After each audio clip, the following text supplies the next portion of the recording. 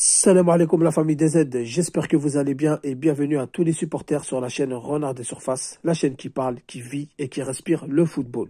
Les amis, on va parler de la conférence de presse de Djamel Belmadi.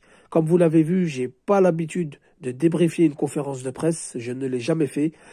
Là, c'est occasionnel car je trouve que Belmadi a dit des choses très intéressantes et surtout que c'est une conférence de presse de la veille d'un départ à la préparation à la prochaine Coupe d'Afrique des Nations.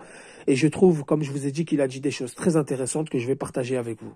Mais avant ça, les amis, je vais vous demander juste un petit like, un petit partage autour de vous à des vrais connaisseurs de football et surtout abonnez-vous si ce n'est pas déjà fait et je vous en remercie vraiment du fond du cœur.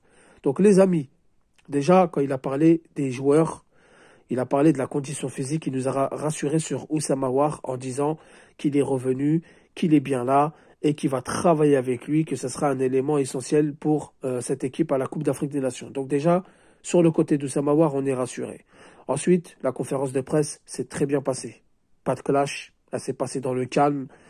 Même si les questions, elles n'ont pas été euh, à la hauteur, faut dire la vérité, il n'y a pas eu de questions vraiment sur le jeu, sur la tactique, sur la défense, comment on allait préparer ces matchs, etc. Même sans rentrer dans les détails, on peut poser des questions sans rentrer dans les détails. Hein. Ça a été à peu près les mêmes questions pour tout le monde, les mêmes réponses donc, de Jamel Belmadi, mais je trouve quand même il a dit certaines choses qui sont intéressantes. Donc déjà, par rapport à la préparation euh, de cette Coupe d'Afrique des Nations, beaucoup pensent que la préparation va commencer au Togo, moi, j'ai compris une chose, c'est que Belmadi est déjà dans la compétition dès la quatrième journée de la qualification à la Coupe d'Afrique des Nations. Donc, cette Coupe d'Afrique face au Niger. Une fois qu'on a terminé le match, qu'on s'est imposé, j'ai l'impression, il m'a donné cette impression que lui était déjà dans la compétition. Et donc, si lui était déjà dans la compétition, forcément, ses joueurs étaient déjà dans la compétition. Ce qui montre pourquoi la forme physique de beaucoup de cadres D'accord? Des joueurs qui sont imposés dans leur club, qui n'ont rien lâché. Ensuite, quand il a parlé de la condition physique, il a parlé, il a dit, depuis que je suis là, j'ai jamais eu un groupe au complet au niveau de la forme physique. Il y a eu toujours des, ça a toujours été les montagnes russes. Ce qui est tout à fait logique et c'est ce qu'on retrouve dans chaque équipe. C'est ce qu'on retrouve dans chaque nation avant d'affronter, euh, enfin, avant de partir dans une compétition. Il n'y a pas que l'Algérie où il y a des joueurs qui sont en manque de temps de jeu, qui sont en manque de rythme. Ça, c'est une certitude. Donc, comme je vous ai dit, Belmadi et ses joueurs sont déjà dans la compétition, surtout Belmadi. Quand il a parlé du Cap Vert, donc il a parlé du Cap Vert, il a parlé du Mozambique, c'était des matchs pour préparer l'Angola. Donc le Mozambique, c'était pas un match choisi vu qu'ils étaient dans, ils sont dans notre groupe de qualification, mais le Cap Vert c'était un match choisi. Ensuite, il a parlé du Mozambique, il a dit il n'y a rien de mieux pour préparer euh, donc l'Angola. Et ensuite, quand il a parlé du Burkina Faso, il a parlé, il a fait en référence du Sénégal à Dakar. Beaucoup se sont posé la question pourquoi Belmadi a insisté pour jouer à Dakar? Et c'est là maintenant que j'ai réfléchi. J'avais déjà réfléchi, mais c'est là que je me dis on a un coach quand même qui est rusé et qui est très très fort, très intelligent dans son dans son choix et dans son dans son métier. Il a été à Dakar tout simplement parce que le Burkina Faso jouera à domicile, vu qu'il y a une forte communauté burkinabé, et c'est un pays frontalier. Il risque d'avoir de nombreux supporters qui vont se rendre à Bouaké pour aller assister à la rencontre. Et donc il a fait référence, euh, donc il a pris le Sénégal pour faire référence, pour avoir un match comme référence, les amis, pour préparer le Burkina Faso. Donc ça veut dire que sa préparation sur le Burkina Faso, elle était déjà faite. Il a joué la Tunisie, il a joué l'Égypte pour mettre l'équipe dans la difficulté parce que Belmadi a l'intention de ne pas s'arrêter au premier tour. Et si on passe le premier tour et si on passe le huitième, c'est ce genre d'équipe qu'on risque de rencontrer. Donc ça veut dire qu'il était déjà dans la compétition. Et ça, c'est très important. C'est très très important et c'est très rassurant pour moi personnellement. Je sais pas vous ce que vous en pensez. Ensuite, quand il a parlé euh, du, Cap Vert, ça veut dire il a préparé, il a pris le Cap Vert pour préparer l'Angola. Il a beaucoup parler de l'Angola, l'Angola, l'Angola, l'Angola. Ce qui fait que lui, Belmadi, j'ai l'impression qu'il veut réitérer ce qu'il a fait en 2019. C'est-à-dire gagner le premier match car c'est très important et justement ne pas refaire les mêmes erreurs qu'en 2022. En 2022, on est arrivé 48 heures avant la compétition, on s'est entraîné au Qatar, on a joué une grosse équipe du Ghana, on, les a, on leur a mis 3-0, on a un petit peu pris la confiance, on est arrivé, on a sous-estimé la Sierra Leone, on a pris une claque à la figure, ce qui a fait que par la suite de la compétition, on avait le moral, on était psychologiquement abattu. Là, c'est le contraire. Ça veut dire que là, il a vraiment préparé l'Angola et il va continuer à préparer l'Angola. Ça, c'est très rassurant. C'est pour ça que depuis le début, je dis, Belmadi prépare du lourd. Il a laissé des signes. Il a laissé des choses, il nous a laissé des, des, des, des, des signes qui font, qui préparent vraiment du lourd et qui est déjà dans la compétition. Donc l'Angola, c'est un match très important. Il a fait référence au match face au Kenya où il a dit tous ces jours en première mi-temps, ça a été compliqué.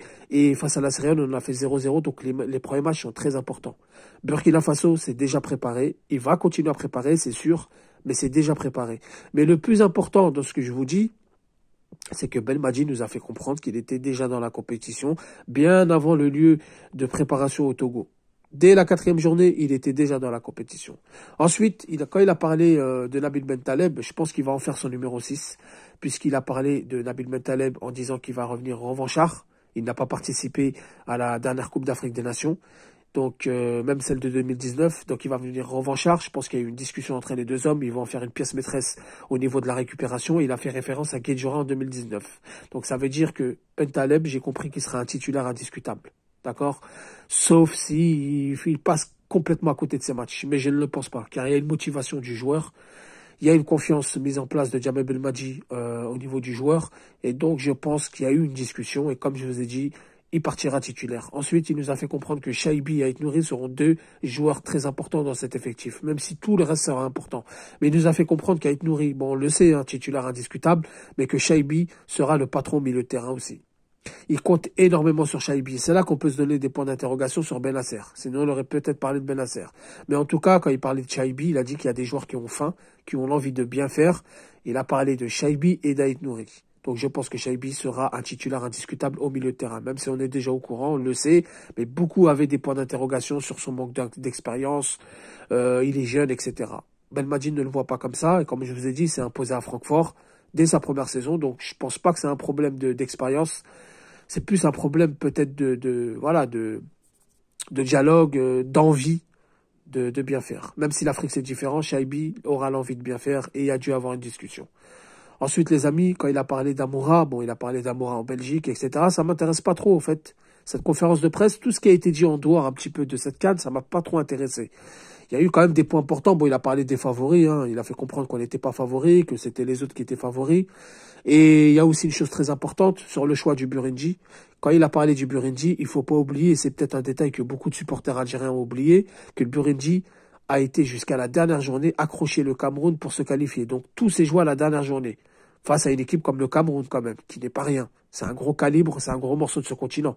On ne prend pas le Cameroun à la légère. Même si peut-être ils n'ont pas le même niveau qu'auparavant, personne ne prendra le Cameroun à la légère. Allez demander aux Sénégalais, vous allez voir qu'ils ne prennent pas le Cameroun à la légère. Donc c'est pour ça que je vous dis, Belmadji, pour moi, je sais où il veut aller. Enfin, il sait où il veut aller, pardon. Il sait qu'est-ce qu'il a à faire et il est dans la compétition déjà depuis la quatrième journée des éliminatoires de cette canne lorsqu'on s'est qualifié un but à zéro à Tunis face au Niger. Donc les amis, j'espère que j'ai été clair, j'espère que vous m'avez compris. Dites-moi ce que vous en pensez en commentaire. Je referai une vidéo sur la tactique de jeu, sur l'animation offensive, sur les joueurs à suivre, etc., etc. Sur ce, je vous dis salam alaikum, que la paix soit sur vous.